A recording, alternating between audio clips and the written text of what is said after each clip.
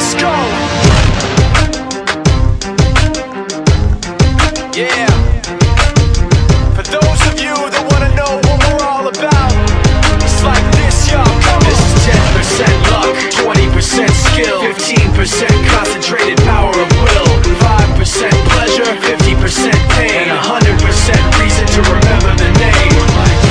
He doesn't need his name up in lights, he just wants to be heard, whether it's the beat or the mic. He feels so unlike everybody else alone In spite of the fact that some people still think that they know But no, he knows the code. It's not about the salary, it's all about reality And making some noise, making a story Making sure his click stays up. That means when he puts it down, Tox picking it up. Let's go. Who the hell is he anyway? He never really talks much Never concerned with status, but still even in starstruck Humble through opportunities given despite the fact That many misjudge him cause he makes a living from writing raps. Put it together himself, got a picture connects. Never asking for someone's help, or to get some respect. He's only focused on what he wrote. His will is beyond reach And now it all unfolds, the skill of 20% skill, 80% fear Be 100% clear, cause Ryu was ill? Who would've thought he'd be the one that set the West in flames? And I heard him wreck it with the crystal method, name of the game. Came back, dropped Megadeth, took him to church. I like Bleach, man, Ryu had the stupidest verses? Dude, is the truth, now everybody giving them guest spots And stocks through the roof, I heard he f***ing with that This is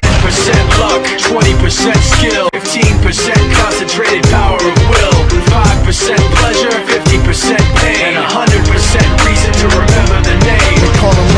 sick and he's spitting fire and Mike. Got him out the dryer, he's hot. Found him in Fort Minor with top, but a fucking nihilist. Porcupine He's a, he's a, the type women wanna be with and rappers hope he gets